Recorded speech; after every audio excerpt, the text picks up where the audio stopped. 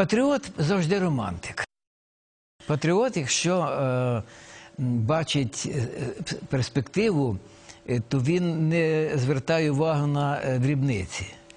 Але справжній патріот може більше готовий говорити про недоліки в своєму оточенні, в, своїй, в- своєму колективі, в своїй країні, ніж про якісь е, здобутки. Непримиренність до наших бід, непримиренність до нашого зла. Це є ознакою зрілості народу.